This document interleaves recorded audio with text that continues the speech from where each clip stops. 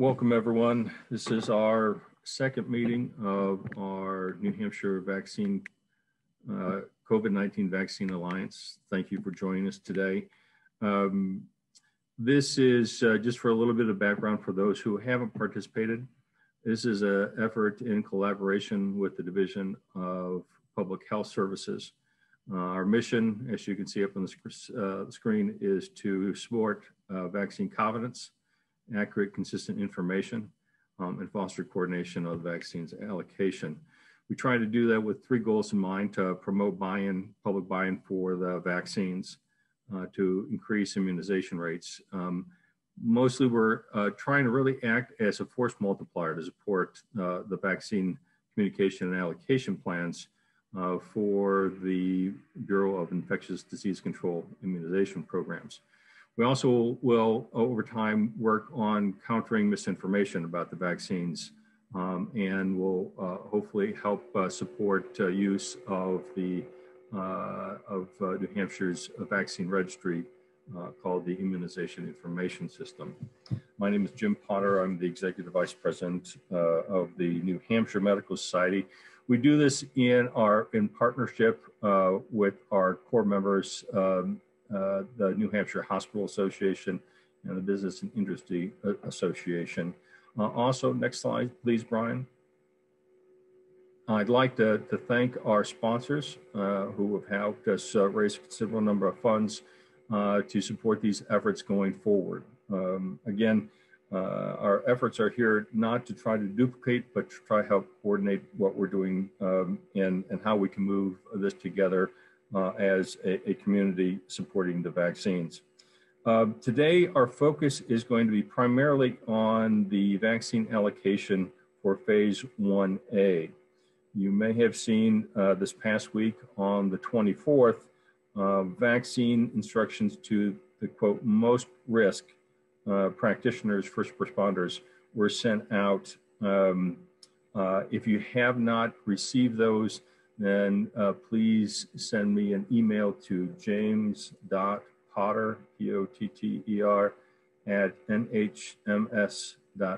Again, that's James Potter at nhms.org. And we'll make sure you get that. In other supporting informations, if your facility is also interested in providing uh, vaccines or distributing the vaccines, um, then there are also forms uh, to be completed that you can send back to uh, the department. Uh, at this time, what I'd like to do is to turn the program over uh, to, uh, to Dr. Chan um, and to T.W. Hall, who are joining us from uh, the department. Dr. Chan, T.W.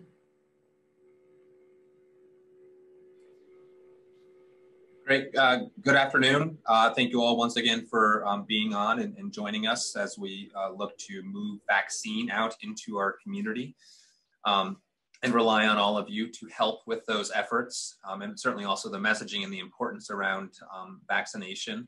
Um, I, I, don't have uh, a lot to say, so I'm going to hand things directly over to uh, TW, but want to thank you all again. You know, I think a lot of what we're dealing with now in public health is the logistics of trying to move this out um, and the, the, complexity of doing that on a very large scale. And so we want to continue to work with all of you to make that as successful as possible. Um, and so we're still working toward that goal of getting vaccine out. Um, and as I'm sure TW is going to talk more about, uh, today is the day that we're uh, opening up some of our um, fixed vaccination sites to try and move vaccine from facilities such as hospitals and long-term care facilities uh, more to the community and frontline health workers and first responders. Um, and we're going to be looking at doing that primarily through 13 different fixed vaccination sites around the state. And so we've developed a process for how people can um, register and identify themselves as being part of that prioritized group um, and then register online for um, getting va vaccinated at one of those sites. So with that, let me stop and hand things over to TW. Thanks. Good afternoon, all. Um, first, let me say thank you for everything that you guys are are doing and continue to do um, with our with with our response and, and for the citizens of New Hampshire. I truly appreciate um, everything that you all have done as a part of this response and and as providers in general. Um, what I'd like to do is I'd like to go through and, and just uh, quickly uh, sum up uh, a couple of points from last week, and then I'll move into the, the new stuff for, for this week. So from last week we on our call, we kind of talked about um, some fairness and equity, how different decisions get made in terms of who's in what category and whatnot, um, how that's vetted um, through um, the state disaster uh, medical committee and others to try and make sure that we've got fairness and equity throughout our, our response. Um, and we also talked about um, overall in the response having two sides of this response, the private side of the response and the public side of the response, or a, maybe a better way to put it would be the, the, the part of the response driven by the New Hampshire government in terms of um, some openings and some availability that they have for that. And then from um, the non-government side of the response, whether or not you're a nonprofit or, or private or, or whatnot in terms of your organization. Um, when we're talking about those responses from the from the from the um, government side of the response, we're talking about really two two main ways that people get vaccinated through this. First are those fixed sites that we're talking about, and that's ideally where we want the majority of our throughput to occur. That's where we're focused on efficiency, um, making sure that we've got a good way to get you logged into that system, working through that, and and vaccinated, and then back out. Um, and of course, maintaining safety and and and trying to keep good customer service uh, up in terms of people that um, have questions and show up. However, trying to do what we can to make sure that people have the information that they need prior to sign, prior to coming there, so that the questions that are asked are you know last minute questions or maybe they need some some further um, discussion or, or whatnot. But the majority of the conversations, hopefully, will be obtained before they come so that we can again try and, and work through getting people vaccinated as quickly and as safely as possible. The other side of the government response is the mobile clinics, and the mobile clinics are run by our regional public health networks, and they are they are designed for that last that that last piece of equity. So so being able to go into different regions, um, different locations, and be able to vaccinate those groups to assist with different areas. That was the uh, originally before CDC gave us the contract of um, of uh, working with the PPP, the the pharmacy partnership program, um, and developing a contract with CVS and Walgreens in order to do that with our long-term care facilities. It was the mobile clinics that were going to go in um, through the regional public health networks to vaccinate our our long-term care facilities. So their job is again to be mobile their job is to, to bring vaccine and vaccinators to a location to be able to vaccinate and, and help work through that. So that's, that's our piece that we have that's a little bit more nimble and, and trying to uh, do what we can to, to help out and assist. Overall, as we move in past 1A, our goal will be to first provide structure and support to those that, that are already established in these work environments. And so to that end, that's where we're looking at, at getting the provider agreement. So the provider agreement went out last week. Um, this provider agreement is for you to be able to um, administer COVID vaccine, receive it, um, administer it to, to patients in your population. And that's really set up to start at the 1B time period. And so if you have an interest in doing that, which I hope many of you do, um, then you can fill out that, that that form, and that form is what starts um, the the process of making sure that you have the right things for storage and handling, that you have the right um, uh, guidance and education in terms of um, what you're reporting, how to do that, um, all those types of all those types of endeavors. When we talk about overall, where we we get into um, different areas, let's say home health, for example, or something like that, um, homebound patients or things like that ideally our, our first goal out of that to, to use that as an example is to support the existing medical structure that's already in place and to get a provider agreement in place with that with that agency with that group to to provide that so that they can then go forth and and and vaccinate. That is them doing that on their own medical direction. We are just um, more or less bringing bringing the party favors so to speak right? We're, we're bringing in the vaccine and and we're getting it to those organizations so that they can then follow their their procedures, their guidance, their everything else to vaccinate those groups. So that's kind of how the the government, non-government uh, entities are we're, we're trying to get that that to coalesce and work together. Um, and I think so far um, it's it's been very positive in terms of the feedback and the and the, everything else that we've gotten from uh, from the different organizations to try and set this up. There's definitely a lot of a lot of uh, challenges to overcome with this, and so um, we're we're doing our best to to do that and take feedback uh, from out in the field and and improve our processes and whatnot.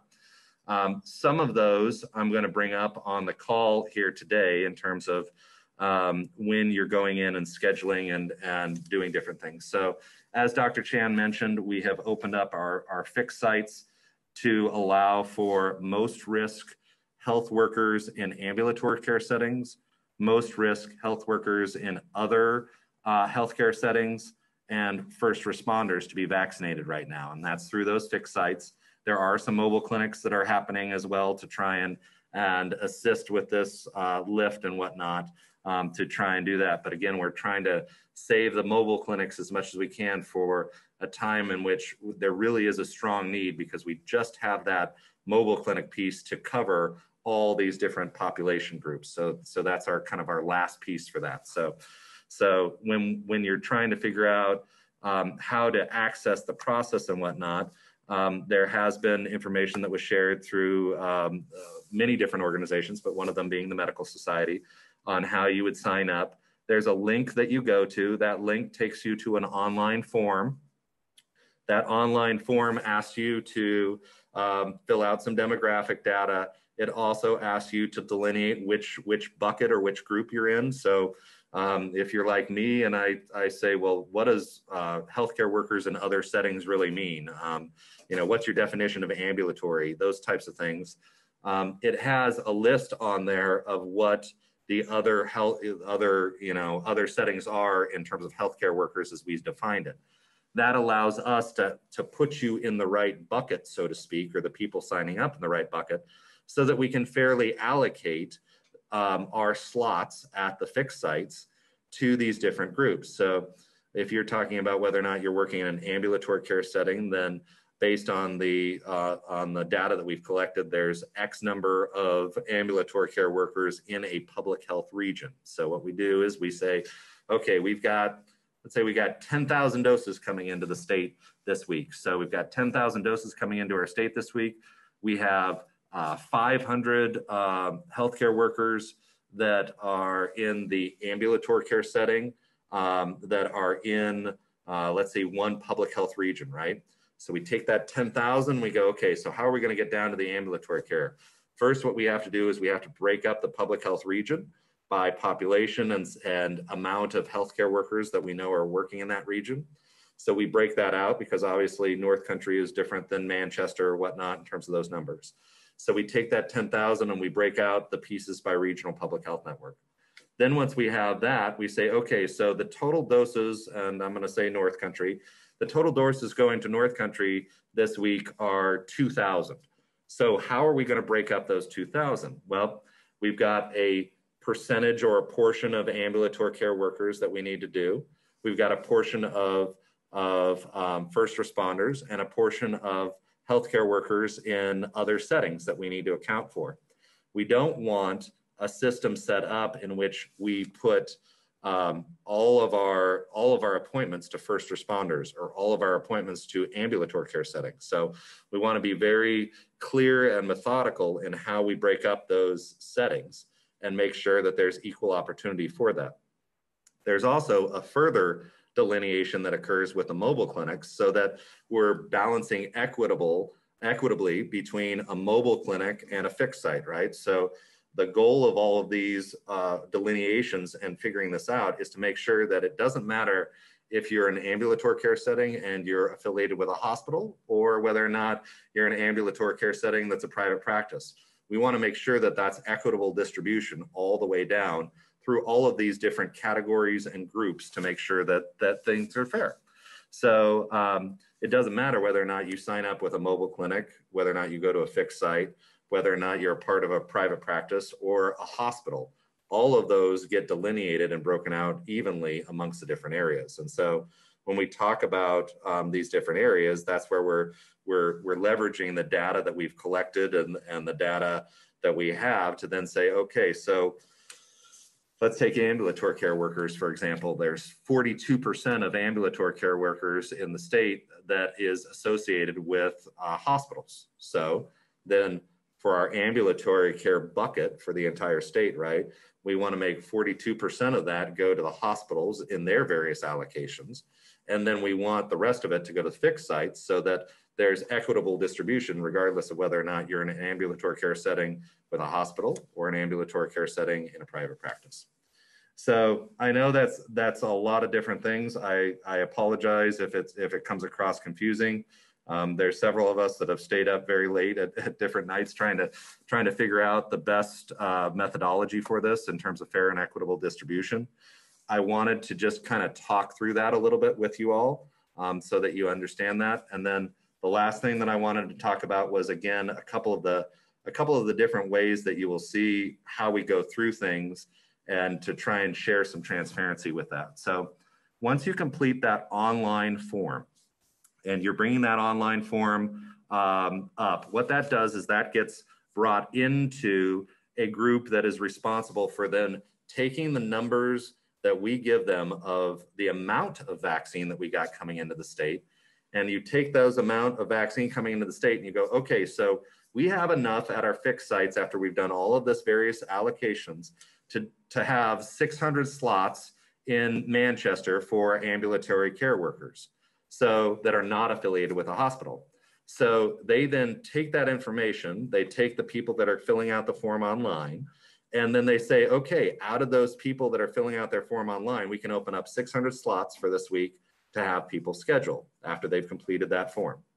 So then that's kind of how the slots open up and how we make sure week to week that we are opening up um, the right um, percentage or the right allocation of slots for people to schedule.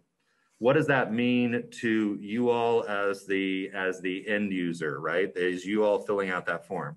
That means that as you fill out the form, depending on the allocation and where we come in, so if I'm the if I'm the you know 50,000th and one person to sign up for the ambulatory care bucket, and there's 50,000 people that we're still trying to process and work through, then it could be that it takes a week or two for you to get a response back to then set up your clinic and your schedule. The whole goal of this entire program and the, and the way that we've set this up is to make sure that we are not creating a process that limits the number of doses that we can administer. Instead, what we're trying to do is, is make sure that the allocation that comes to us is the limiting factor on the number of clinics that we can set up and, and the throughput in which we can do to get people vaccinated. So that's kind of why we've taken the, the, the stance that we have and, and how we're working to pull some of those numbers together. So to make sure that, that again, as soon as we have an amount of vaccine that we know is, is getting distributed and administered, people can sign up for that, go through that, and then again, it's delineated into those buckets so that, so that if you're a healthcare worker in another setting, you get your you get your your fair shot at getting signed up, so to speak. Um, once you get in and you and you get that, then it gets sent out in a in a VAMS email. So if you do not have an email, then um, we've worked on the form to basically allow you to say, look, I do not have an email. If you don't have an email, then that triggers a call from the from the call center to then call you and set this up and walk through this process with you. If you have the email, which we're hoping that ma the majority of people do, then they will go through and they will get an email saying, hey, look, there's a slot available for you to sign up. Go ahead and sign up.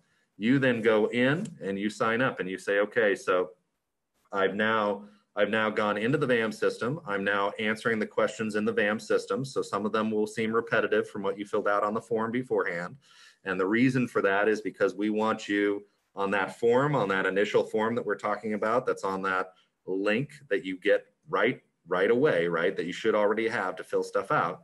That link and that setup on that form is to is to walk through, and it's for people that are obviously not as medically educated as you all are, but it's to walk through and say, hey, look, so if you're lactating, if you're if you're pregnant, if you're immunocompromised, you want to have these types of conversations with your healthcare provider. We don't want you to then get the VAMS request to sign up and you hearing for the first time that that's when you need to have that conversation with your healthcare provider. We want you to have as much time in between those two processes so that we can allow for that conversation to occur.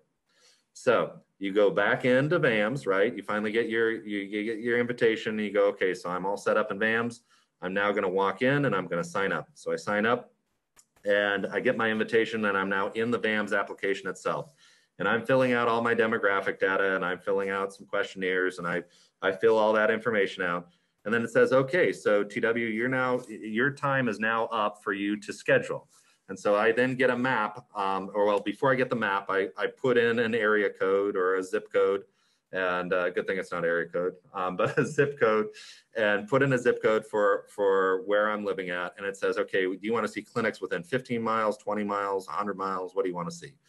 I select what that is. I then get a, a, a map that pops up, right? Now, here's one of the challenges with VAMS. That map that pops up pops up with every clinic that has a capability of being scheduled. So the challenge out of this is, is that the VAMS, um, the VAMS system, right, is designed by Centers for Disease Control and Prevention. So that system is designed and set up so that anyone can sign up anywhere. So I cannot take me, TW, as a hospital and give me a special password that only allows me to schedule at a hospital site. I could schedule or I could set up theoretically and I could schedule at a hospital site, a fixed site, or any of the other clinics, either be in this state or out of this state um, that I see on that map. So that's obviously a, a, a, big limitation in terms of VAMS and what our capabilities are with that. We have worked with that in several different ways, and there's no way that we can change the technology to fix that.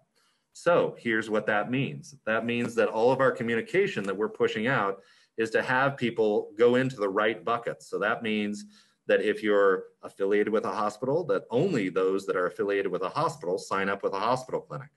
Only those that are not affiliated with a hospital or our first responders are signing up through a fixed site. We will continue to work on our messaging and push that out, but I want you all to, to have clarity into the process to understand that, that when we, these clinics come up, there's no way to just make sure that only people that are affiliated with a hospital only go in through that. So what that means is, is that we have we have kind of a screening process on the back end where we're going through and we're looking through everything and, and we're encouraging the hospitals to do the same thing to make sure that certain certain you know that example for the hospitals they're only vaccinating those that are affiliated with them whether or not they be in ambulatory care or whether or not they be in the hospital organization they're still only taking care of their groups right because moving back to how we're delineating who gets what in terms of vaccine if I have a hospital now that's all of a sudden vaccinating a lot of other ambulatory care practices that are not affiliated with them, then I put my vaccines in the wrong bucket, so to speak. And now the hospital is going to be short, but we might have more at the fixed site. So again, the goal is to try and communicate this all out and to try and do what we can to get people to, to stay in those in those swim lanes, so to speak. So um, that's one of the challenges that we're going to have with VAMS, um, and one of the reasons why we'll, we'll probably be looking to um, move away from it in, in later later periods of this uh, this vaccination effort when we get into maybe 1B and beyond and start to look at that. Why we'll we'll see if we can leverage a different system to be able to to be able to account for some of these challenges that we have. Terrific. I've taken a, a, lot of time to, to go through different things. I apologize for that. Um, but I wanted you to kind of have some idea into the logistics and the scheduling, how we're figuring out what vaccines have come through. Um, I'd be more than willing to open it up for questions at this time to clarify anything that I might have said. Uh, thanks, TW. That's uh, a lot of information. Um, again, Jim, I think you're on mute right now, or for some reason I'm not hearing you at least. Uh, how's that? Um, thank you, TW. Uh, that's a lot of information. We really appreciate um, all your efforts in moving forward. Yeah, the the biggest thing that we I think saw uh, in confusion. I am still not hearing you, Jim. So I, I don't know if uh, uh, that's just me. Can someone else speak up if it's if it's? Uh... I can hear you, Jim. I can as well. I can hear him as well. Yes, I can too. Thank you very much. Um, so uh, why don't we open this up to questions right now? Uh, you can use the chat box below uh, to send your questions in. Um, TW can, if you can hear me now, can you nod? Okay, terrific. Um, thank you. The big clarification that we we had was uh, had to do with uh, hospital employees and non-hospital employees. We'll kind of frame it like that. So, uh, just to kind of reinforce TW's message, um, if you see a and if you uh, your members or others that you pass these information to, um, hospital sites are only for really hospital employees or those directly affiliated with the hospital. If you are in any other kind of setting or if you're a first responder, then you should be going to one of the fixed sites. Uh, so that's uh, the primary uh, message, kind of the feedback we got from, from this first week. Um, uh, just a clinical question uh, uh, for you, um, TW. Can you provide any further guidance about how to counsel patients with prior history of anaphylaxis to, due to non-vaccine allergens? So Dr. Chan, feel free to, to step in if you if you'd like to provide guidance first, or if you want me to give a first crack at it, I'm happy to. Well, he had to jump off. Go ahead. All right, then then I'll then I'll give my my best crack at it. So here's what here's what I would say. Um, the guidance that we've gotten right now is that it really is um, uh, again like all things that we talk about it's a risk versus benefit right so so starting there if i'm putting my provider hat on and then the next step really comes down to what they've had anaphylaxis to. And I think this is an evolving situation where, where we're still trying to figure out specifically what it is. I think all of you have seen in the news uh, a couple of time periods where people have had anaphylaxis in general, but not to any component of the vaccine or anything else. And that's where people are starting to, to bridge up against to try and figure that out. Um, I was at the fixed sites for, for a couple hours on Saturday um, taking a look and seeing how things ran through. And I saw I saw two people anecdotally that that went through that had um, allergies. One had an allergy to shellfish and decided to get vaccinated, um, had no reaction whatsoever. Um, and then I had another person that I saw that had anaphylaxis and to um, a nut allergy and got vaccinated with no reaction whatsoever. That being said, I know that nationally we have seen um, we have seen a couple times where people have anaphylaxis, and we're still trying to figure out good rationale of why that case is happening. So that's the that's unfortunately the the best that I can that I can do for you. Thank you. We'll uh, we'll get thank you for that question, and we'll get more information out to to everyone participating. Um, uh, question about uh, what is the anticipated vaccine supply uh, over the, the next week that you, you think you're going to have coming in? Thank you. So actually, after I get done with this call, I'm going to uh, go and, and find out from our staff um, if uh, Operation Warp Speed has uploaded it. Um, what we've had messaged out is that we would have probably right around 8,000 doses so far, um, maybe a little bit over for our, our vaccine allocation. But there's a couple of there's a couple of caveats that I want to put towards that. Number one, we have some doses from this week, depending on how we're launching and, and how things are being set up, that may not get used this week because of signups or whatnot.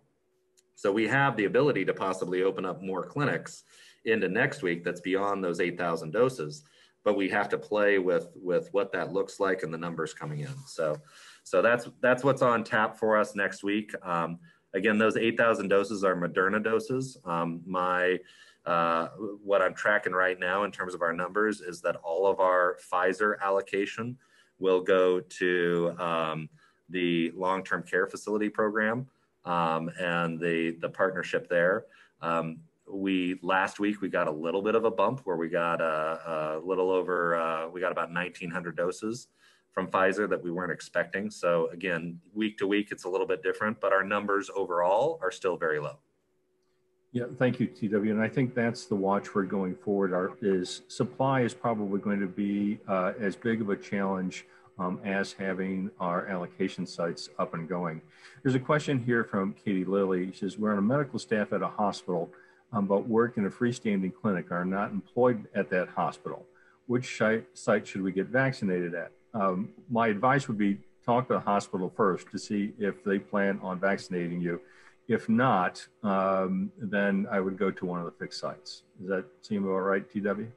Absolutely. So we we worked with the hospitals to get their the the number of clinics affiliated with them in terms of the ambulatory care. So um, that's that's where I would direct you to first to to do that if there's ambiguity as to whether or not you know you are affiliated with them or or not. And if you're not, then by all means, come on down and we'll we'll get you vaccinated in the fixed sites. So other information that we're getting in is uh, various uh, health though healthcare workers have signed up but haven't received any uh, feedback or haven't gotten any materials back. What what how can we help set their expectations? Excellent. So thank you for the question. I think that um, so what I was talking about in terms of the the difference. So by sign up, I'm going to assume that what you did was you went on to the portal, you filled out the online form, you completed that form and now you're waiting for an actual invitation into VAMS to get to get vaccinated. That invitation and that that that to come in and get scheduled in VAMS, that's the part that I was talking about, is that portion of being delayed in terms of the response that depends on the allocation that we get in each week. Right now, as of yesterday at about three, I was told that um, you should get a response back in about five days.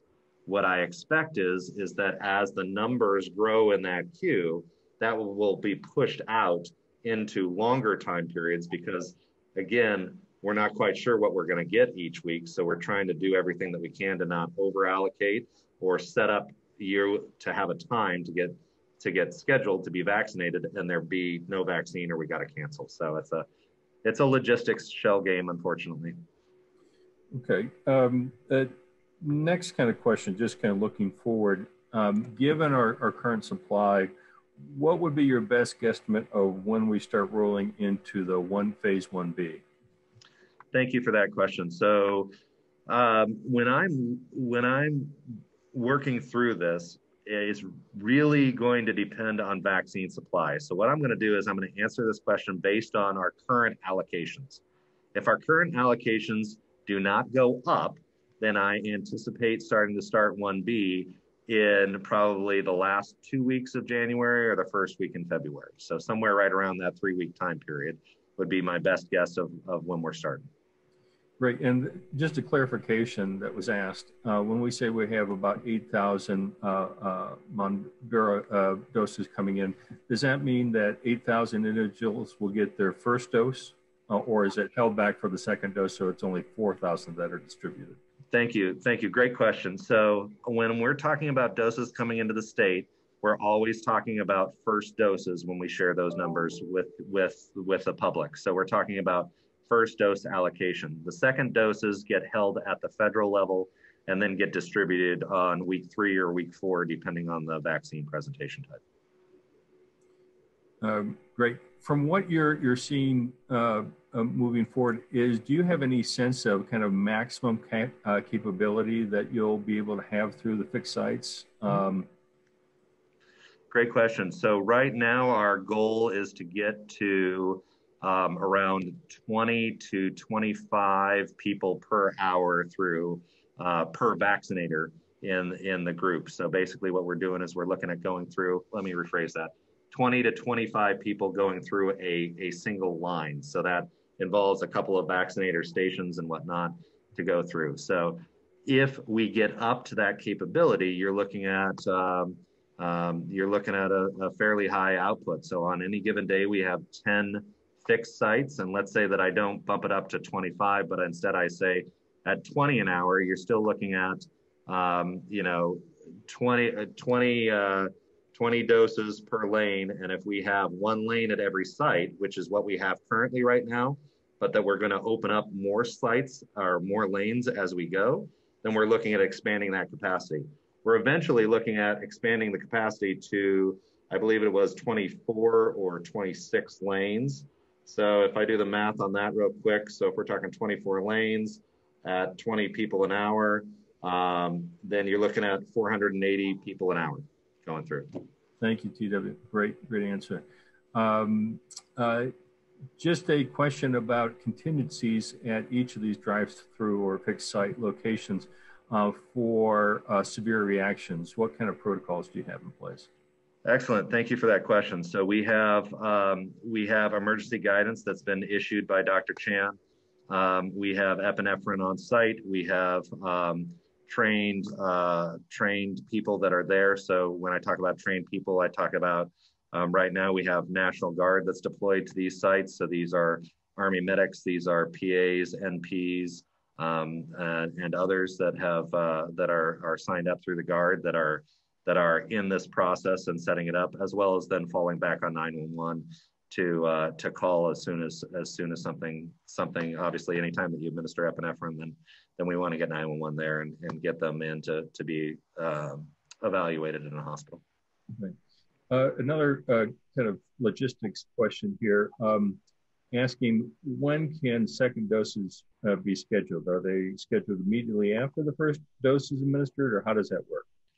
Great. So um, when when you go through, if you have submitted your email and um, and done an email reminder, so again, we're we're using that that that frame of emails for for uh, for VAMS.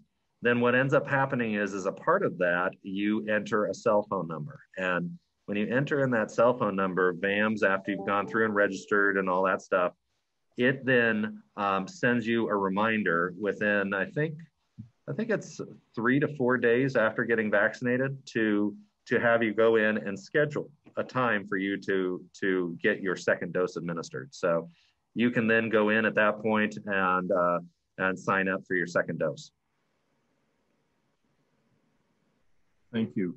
Um, a, a, question here, and I think this has to do with uh, more uh, 1B, um, but if they're not uh, on the list, um, as example, um, the question is uh, organizational affiliation with the drop-down box. Uh, how should school nurses uh, be listed? Well, I guess the question, will additional fields be made available um, as uh, the, phase changes for specific groups? So, so the first thing that I'll say is school nurses is a, are included in 1A as uh, healthcare workers in other settings. So that's the that's the first part of that that I would say is is categorized. Um, the the second part that I would say is that if there are health workers that are not affiliated uh, or or that are not called out in terms of these areas, um, the ones that are not called out my understanding is is that it's a pretty broad capture. So when you're talking about those that aren't in it, I'm talking about lowest risk stratification, right? So if I'm an MD, if I'm a DO, if I'm a nurse, whatever, whatever my category is, but I'm sitting here behind the desk the whole time and I'm not going out and talking to patients and I'm not having that exposure and whatnot ever, then I'm in that lowest risk category, right? So that lowest risk category of health healthcare workers is right now in our plan to be vaccinated as a part of 1B. That's 1 Bravo. But that 1B plan is currently now being vetted and going up the chain. So I tell you that just to simply be transparent in the fact that we're pushing that forward. Um, for those of you who follow CDC's guidance, um, right now there's a little bit of a difference in terms of what CDC has recommended for 1B versus what we're looking at in New Hampshire.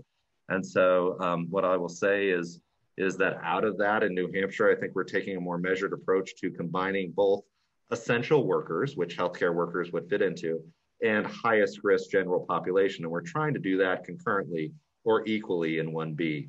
So that's a little bit different than the, than the national guidance um, from ACIP. So if that gets vetted and, and approved at the, at the highest levels, um, so governor's office and all that jazz, then then uh, everyone's on board with it, then that, that'll be the strategy that, we'll then share with everyone. Great. Um, this is just a little bit of a comment. If there are any uh, individuals here on this call who are interested in having their facility or clinic uh, become a provider to distribute the vaccine, um, uh, to take a little burden off the, the department, please email me directly and we'll make sure that you get the instructions and the forms. Um, but we'll make those available, uh, and they were in several guidances that went out. Um, but please uh, email at james.potter, P-O-T-T-E-R, at nhms.org. We'll post that up um, as we go forward. Just a follow-up question from that we heard last week. Uh, should someone uh, who had COVID-19 and test positive for antibodies get the vaccine? So thank you very much, Jim. And, and the other thing that I would say is that there's a HAN that's scheduled to go out, I believe, later on today that will also give you a direct link as to where that you can get the provider agreement as well. So um, just just to, just to let people know, as well as uh, directly with the link to, to sign up and whatnot. So um, and that's for you signing up as an individual and then a provider agreement for you um, being a purveyor of this vaccine, so to speak. Um, to get back to, to your question, Jim, of, of what you were saying in terms of the, um, of the, sorry, I just drew a blank. If uh, someone who's had COVID 19 and tests positive for the antibodies, should they get a vaccine? Thank you. So for those that that um, that have had COVID, we want them to get the vaccine. Now let's talk about time frames here because those are essential as well we want them to not be in their infectious period, right? When they come through the line and, and, and come out. So we want them to, to finish their finish their protocols so that they're not infectious, right? We want them to finish their isolation. Um, if they've been exposed, we want them to um, to go through all of those steps and make sure that we're whether or not they're in quarantine or isolation or whatever their possible exposure was, or if they've gotten COVID themselves, we want to make sure that you're not infectious, and then we want you to sign up and, and get the vaccine as soon as possible. So no delay after after those periods have passed. Right. This question is really, are you using the VAM system right now for the most uh, risk uh, individuals? Um, or can others who uh, uh an ambulatory uh, setting would consider moderate or lower risk in phase 1A, should they be signing up now or should they be waiting? I would I would ask that those in the moderate risk category wait to sign up in in VAMS. We will send out guidance once we switch those categories so that everyone's clear on on which areas to go. But um, right now, our screening questions and everything else are for most risk um, healthcare workers, and that's what we're working with VAMS to to do right now. Um, terrific. Um, if we have some further questions, uh, we have a little bit more time left. Um, uh, going uh, going forward, let me see if I can find another kind of question. Um, if a facility becomes a provider, uh, as example, home health agency, uh, or other or other others with patients, can the facility provide to their staff as well as patients? Yes, so when we get to 1B, if for whatever reason your your entire staff had not been vaccinated, so let's assume that you have lowest risk staff or you have people that were at a higher category level and maybe they chose to wait to get to get vaccinated for whatever reason, then yes, at that point you could you could vaccinate both your both your staff and your and your patients. Great. This is from uh, uh, Home Care Hospice. Um, uh, I've heard some organizations say they will stagger vaccinating their staff to avoid potential staff shortages due to possible short-term side effects. Do you advise this or should organizations register all their staff since it would take time for appointments? I, I think there's a couple of different ways to, to do this. The first thing that I would say is, is that if you have them sign up in the in the most risk category, my guess is that they're going to be staggered anyway in terms of um, when their name gets called and and whatnot.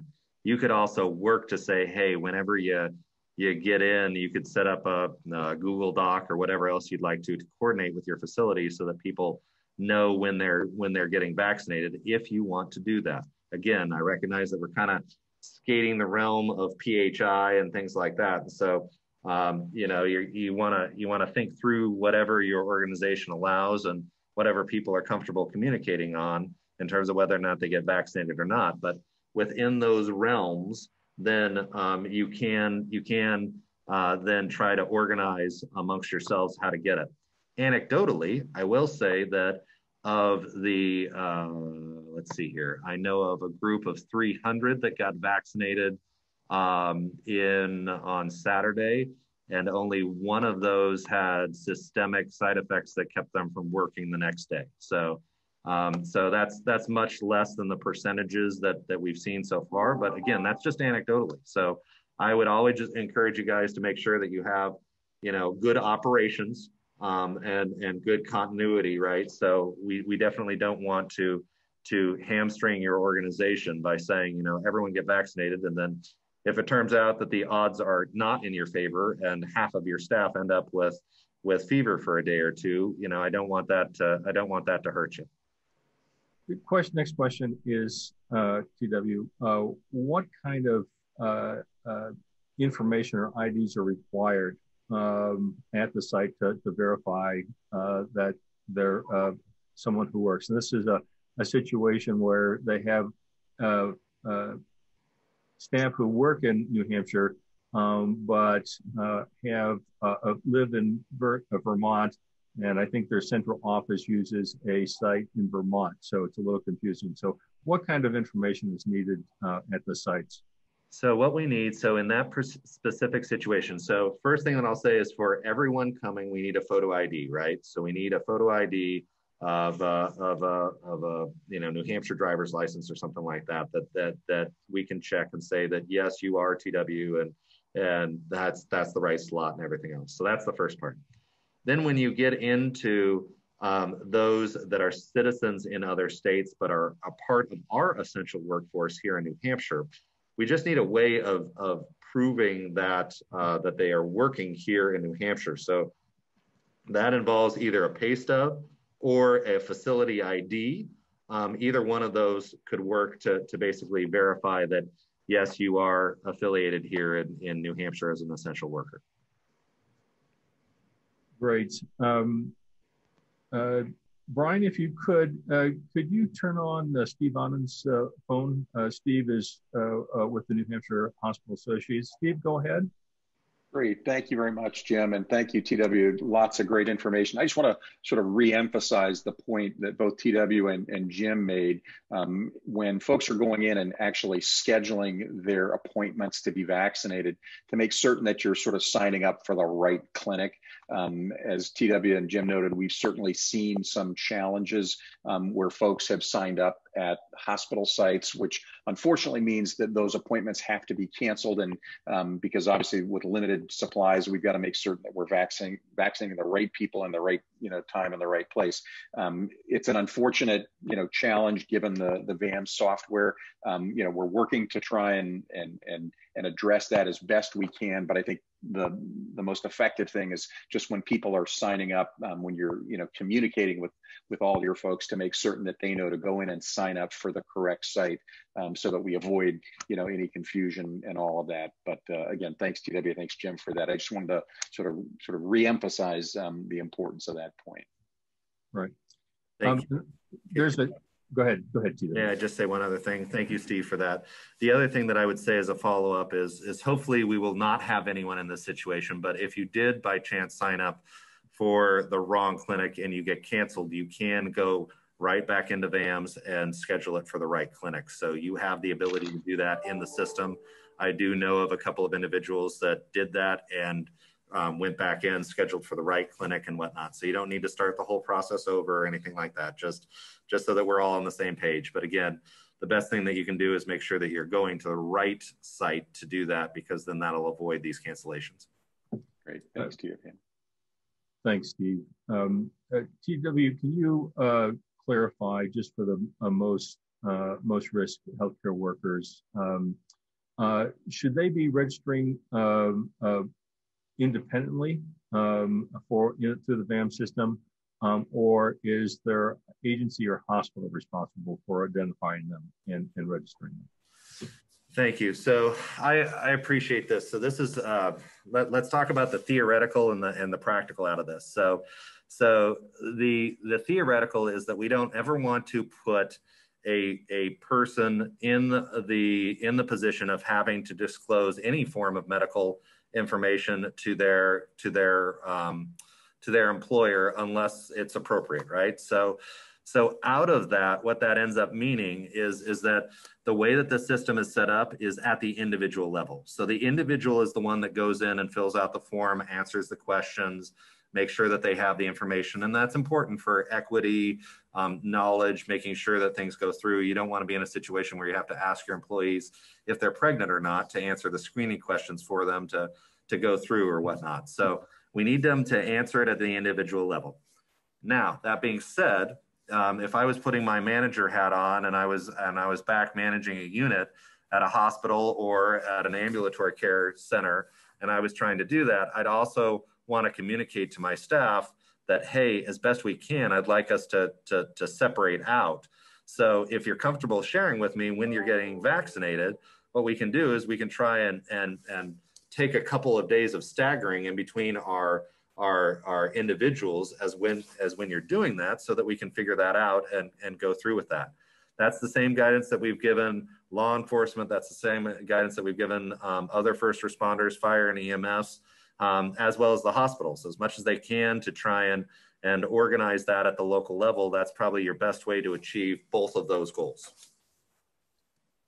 Terrific. Thanks again tw that's a, it's a tricky but thank you for clarifying that. Um, uh, there uh, is some questions coming through, some confusion about uh, where to go to, to sign up uh, through VAMS. Um, uh, I'll just say that in the guidance from the 24th that was widely distributed, but if again you don't didn't receive it or can't find it, please email me directly. Um, it's also available on the vaccine planning site, but um, if you uh, if you look at that particular guidance at the page top of page two, you'll see the link uh, to go in. And we'll try to clarify that in uh, our, our next messaging uh, this week to help make sure that uh, you you can get registered if you desire to do that. Um, question is, can they view VIX uh, VIX sites before they register? And as, as I recall from the guidance on the 24th, there was a listing of the towns um, but not necessarily the fixed sites. I'm not sure if they're asking for more specific information or if they can view, or is, does that happen once once they register? So once, thank you for that. So once you register, that is when you get um, the information of of where where what your options are, which fixed sites are available, and things like that. The general guidance that went out, I think, listed towns so that you had an awareness of it. Um, I'll also say that our, our clinics are running Tuesday through Saturdays, um, but you'll get specific information about hours and things like that. What we've done is, is to start off, right? We're starting off in a theoretical model where we say, okay, here's what we're going to do. We're going to do an eight hour day. We're going to start it at, let's say it's 9 a.m. on Tuesdays, and we're going to slowly go up and, and start one hour later through the Tuesday through Friday so we can get some evening shifts in, we can get some morning shifts in, and then we also have a Saturday setting. Now that's that's the theory. We'll see as people sign up what the what the you know what if any there are issues of. If we find that no one's signing up right around you know no one signs up in the morning then we'll look at shifting those hours and trying to accommodate people accordingly so our, our, our goal really is is to try and be as as uh, client driven as we can in terms of our scheduling. Uh, terrific. Well, we're winding up on the hour, um, and we want to make sure not to go over because I'm sure TW they may have you on, a, on another call here right afterward. Um, but I want to thank you again for for coming online and thank Dr. Chan for for his time. Um, if you have any further questions, um, we'll stay on for a little bit and we'll try to answer those directly for you, uh, just using the chat box. Uh, but I know TW has uh, other things to do. Otherwise, um, we will be back here uh, next Tuesday, um, and maybe we'll talk. Uh, there have been um, some requests just to kind of walk through the process, uh, maybe live. Maybe that's something that we can try to set up with uh, some some of the other DBHS staff um, for for next week. Um, but Thank you, TW, for your time today, as always. And uh, we'll be back here next Tuesday at noon uh, with uh, Dr. Chan and TW again um, as we move forward uh, with the 1A uh, uh, phase of the vaccine allocation process. thank you all for joining. And if you have any questions, please email me. If you have other thoughts on what we should be focusing on. I know as we move uh, into uh, 1B and to 2, we'll probably also start shifting uh, in discussion about uh, communications um, and influencers and how can we, as we move into the general population, how uh, we can uh, affect our immunization rates. So some strategy development on what the department has developed in its communications plans will probably be coming forward um, in these meetings. TW, any uh, last thoughts before we leave? Um, I just want to say so. So thank you, Jim. Um, posted in the chat is the direct link to sign up. So if for some reason you lost the email or or whatever else, just want to point that out. So that's that. Um, that's that that link that's that's in the chat that starts off with the prd.blogs. So um, that's where you would go to fill out that form in case anyone was having any challenges with that. I would say that CDC has developed a lot of messaging around uh, COVID vaccine. I know that Dr. Chan and Dr. Talbot have put out in, in the various HANs um, uh, some guidance on how to have some of the conversations, what what they'd recommend, how to talk about risks and benefits and things like that. So, so those are the those are the resources that I can offer right now. And thank you all very much for what you do every day.